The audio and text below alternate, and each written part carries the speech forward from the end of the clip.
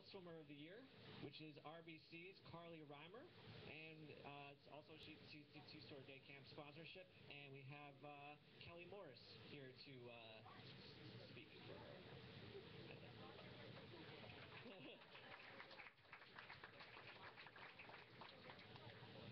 Um, each year, Karlie um, did excellent in Monmouth counties and shore conference, and every single meet, she just shined when she swam. And um, along the way, she helped lead uh, RBC to two non-public, non-public A state championship meets, and as well as breaking two school records, one individual and one for the 200 IM relay, and then two relay records with the Caseys uh, for shore co- uh, conference in Monmouth counties. And um, her hard work, uh, enthusiasm, and passion for swimming has made her such a role model. And uh, I swam with Karlie for a while, and she's just a great competitor and uh, teammate, and she'll do great at Rutgers.